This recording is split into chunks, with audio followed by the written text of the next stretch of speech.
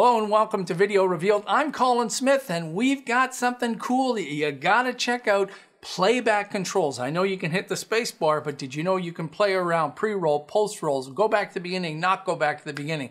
Lots of great things, I promise, will be useful.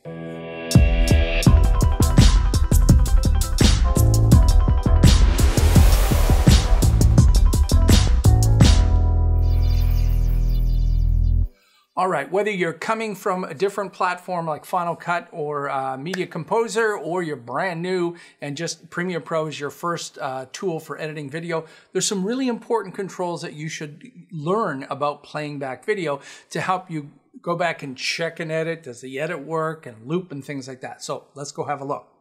So one of the first things um, I want to show you is something that that uh, some people do complain about, and that is when you get to the end in Premiere Pro, it goes back to the beginning when you hit play. And if you go to the edit menu on Windows in the Premiere Pro menu on the Mac, if you go to preferences,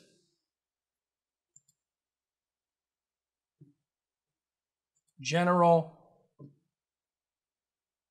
at playback end, return to the beginning. So if you turn that off, click OK. Now, when it gets to the end, and if I hit the space bar, it won't go back to the beginning. Uh, I, I've just been used to that since the beginning of time with Premiere Pro, so I leave it on. Next up is the way that the timeline looks. So if you zoom in, you'll see there's the playhead, and when I play, if I'm zoomed in far enough, it's going to page scroll. So you can see it jumps to the next page and continues on. Back in the preferences, you can change whether it's page scroll, no scroll, or smooth scroll. Let's look at no scroll. So now when it goes out of view, remember this is not when you're zoomed all the way out. This is when you're zoomed in. So when the playhead moves outside of the area, it is now playing a different part of the uh, um, different part of the sequence. So if we zoom back in again, let it go out of view. And when I tap the space bar again, it's going to take me where the playhead is. The last one, back in general, is a smooth scroll. And the way this works is let's go back um, outside here, start playing you'll notice that the playhead stays in the beginning, stays in the middle. And if we go back over here, it's always going to jump into the middle. That's the smooth scroll option. Uh, I'm not a fan of that, so I like to go back to just the regular page scroll. All right.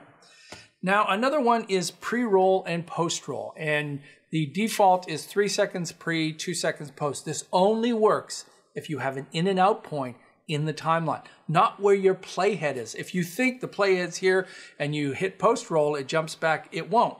The keyboard shortcut for for uh, pre-roll, post-roll, because they're both the same, they're both within the same command, is shift spacebar. So with no, no endpoint, shift spacebar takes me back to the beginning. So I'm going to grab an in and out point here, hit the I key and the O key, and now I have an in and out. If I hold shift, it's now going to jump to the pre-roll, and finish on the post roll. Back in the preferences in playback, you'll see there's a pre-roll and a post-roll, and uh, the default, uh, if I remember, is 3 and 2. And now when I click OK, Shift, Space, we jump out that far, and it goes back, and two seconds later. Okay, you, it also works that way up here in the, um, so let me open up a longer clip.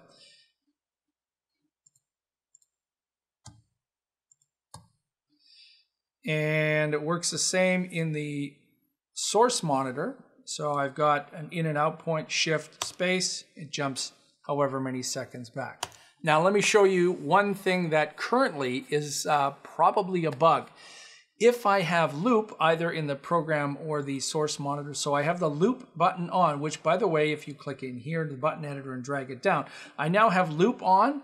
You'd expect this to pre-roll and post-roll and loop shift space. It jumps to the in point, not where I would expect, which would be there. Um, that might be a bug. Um, so if you're not jumping to pre-roll, go have a look at your uh, loop command and loop setting and see if that's on.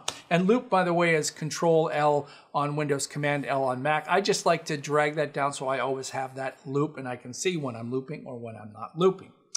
All right, the next one's really easy. Um, it's play around. Shift K. Wherever the playhead is, it's going to play around that area for you. If you have loop on, it's going to play around and loop in that area. And you can use this to help look at a certain. Um, so if I jump down up to the next, I'm using the up and down arrow, Shift K, just show me what that edit is, and then it's going to loop around and show me what that is.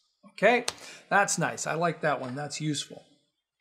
The next one this is no different than a lot of uh, video editing programs out, and it's the JKL keys, the shuttle keys on a North American keyboard JKL because they're those three characters are beside each other. So if you use your right hand and you're tapping those keys, now I'm moving around in that area. So if you tap J, J, J, you'll start going backwards fast. L is playing at normal speed, faster, faster, faster, faster and I can tap K and L to stop moving at a fast speed and then play normal speed. So it's the same if you're going back or forward, the JKL keys.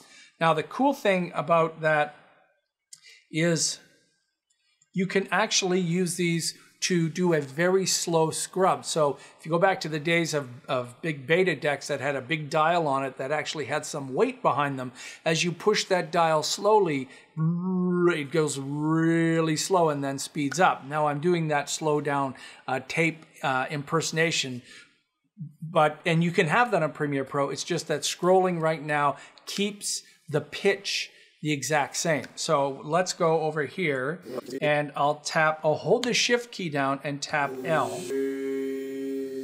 L. And you can see it's moving very slow. And I can hear the dialogue. A little faster.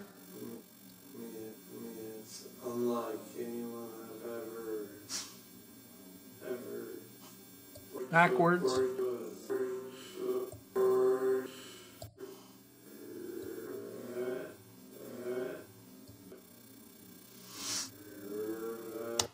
This is useful for the same reason it was useful back in the in the uh, the deck days is sometimes you want to find a certain uh, word or a certain consonant and you're trying to find an edit at that point.